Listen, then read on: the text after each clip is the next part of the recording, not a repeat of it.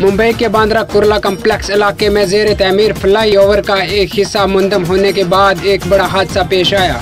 हादसे में चौदह मजदूर जख्मी हुए, जिन्हें अस्पताल में दाखिल कराया गया। इलाहाबाद हाई कोर्ट ने जुमेरात को अपने एक हुक्मनामे में कहा कि दो बालगों को ये हक हासिल है कि वो अपने अजवाजी साथी का इंतखब करें, चाहे वो किसी भी मज़हब से तलक रखते हों और किसी को दो मुख्तलफ मजाहिब वाले जोड़ों की ज़िंदगी में मुदाखलत का अख्तियार नहीं है।